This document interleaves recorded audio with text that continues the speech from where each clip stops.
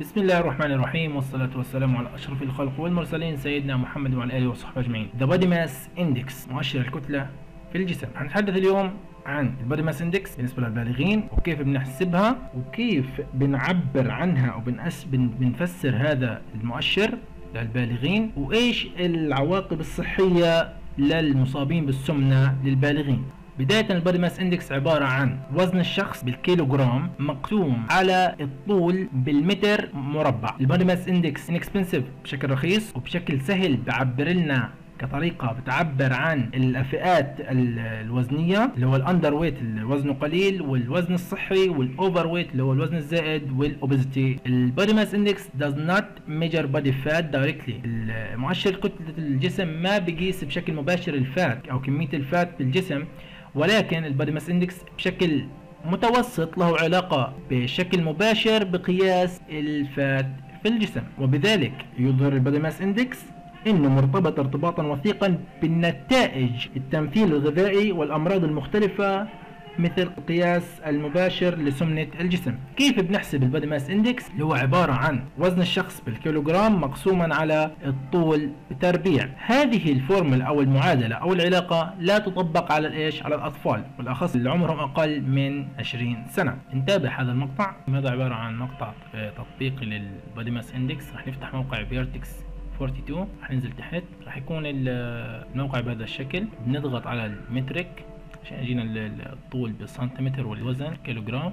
بندخل الطول نقل 170 الوزن نقل 70 كيلو جرام نضغط على ال body mass index 24.22 المنطقة اللي هو إيش في ال normal تمام؟ نقل للوزن 80 ال body mass index 27.6 في ال overweight وزن زائد نقل 90 31.1 في ال obese عندهم سمنة وهكذا. كيف بيتم تفسير مؤشر كتلة الجسم للبالغين؟ For adults 20 years old and older للأشخاص اللي عمرهم للبالغين اللي عمرهم 20 سنة أو أكثر ال body mass index بيتم التعبير عنه باستخدام ال standard weight الوزن المعياري status category. These categories are the same for men and women of all body type and ages. هذه الفئات متشابهة بالنسبة للرجال والنساء وكل الأعمار. ال body mass index أقل من 18.5 راح يكون underweight من 18.5 ل 24.9 راح يكون في ال normal أو or healthy weight من 25 ل 29.9 overweight راح يكون الوزن زائد ومن 30 وأكثر راح يكون عنده سمنة. قياسات أخرى ولكن بتصنيفات أخرى لل obesity الأشخاص اللي عندهم من 30 ل 34.9 قلنا بكون obesity ولكن class 1 في من 35 ل 39.9 class 2 أكثر من 40 class 3 طبعا الأشخاص اللي عندهم obesity class 3 راح تكون عندهم عواقب صحية أكثر من class 2 أكثر من class 1 طيب اذا كان عندنا شخص رياضي athletic or other person with a lot of mus muscles or muscle has a body mass index over 25 is that person still considered to be overweight إحنا قلنا انه اذا كان من 25 ل 29.9 overweight يعني عنده وزن زائد يعني بري obese حسب الجدول اللي هنا بري obese طيب بقول لك الاثليتكس may have high body mass index because of increased muscularity rather than increased body fatness. يعني عندهم نسبة المسلز أو اللي هو العضلات أكثر من دهون الجسم. وبالتالي بشكل عام البيرسون اللي عنده high body mass index like to have body fatness and would be considered to be overweight or obese. يعني بشكل عام اللي عنده high body mass index أو مؤشر كتلة الجسم عنده عالي راح نعتبره overweight أو obese. But this may not apply to athletes ليش ما بينطبق على الرياضيين؟ لأنه عندهم زي ما قلنا نسبة العضلات أكثر من نسبة الدهون في جسمهم وبالتالي راح يكون وزنهم عالي ولكن نسبة الدهون راح تكون أقل. طيب A trained healthcare provider should perform appropriate health assessment to evaluate an individual health status and risks.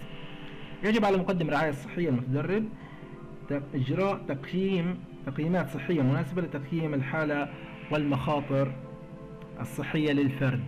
يعني كل شخص له تقييمات خاصة به What are the health consequences for obesity for adults ما هي العواقب الصحية للسمنة على البالغين People who have obesity are at increased risk for many diseases and health conditions including of the following all causes of death mortality high blood pressure hypertension ممكن تسبب له الموت وراح يحدث عنده ارتفاع في ضغط الدم وراح يرتفع عنده ال LDL اللي هو الكوليسترول وراح ينخفض اللي هو الضار هذا وراح ينخفض عنده ال HDL الكوليسترول جيد. Or high level of triglyceride اللي هو الدهون الثلاثية. راح يصير عنده حالة بنسميها dyslipidemia دهون في الدم.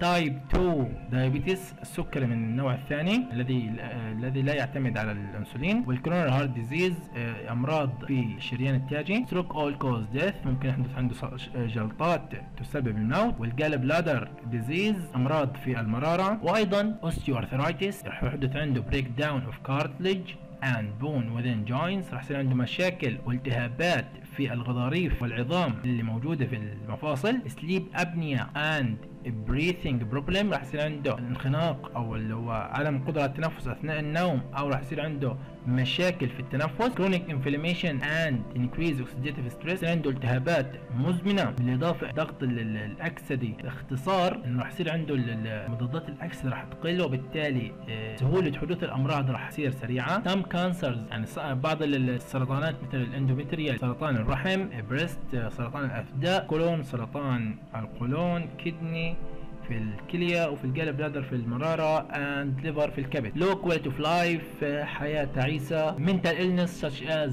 clinical depression اللي هو الاكتئاب السريري anxiety قلق توتر and other mental disorders بالإضافة للمشاكل العقلية. uh, body pain and difficulty with physical functioning. uh, آلام في الجسم وصعوبة في الأداء الوظيفي الفيزيائي. فرانسيس لا تنسوا تدعمونا ب like و share subscribe شكرا على المشاهدة.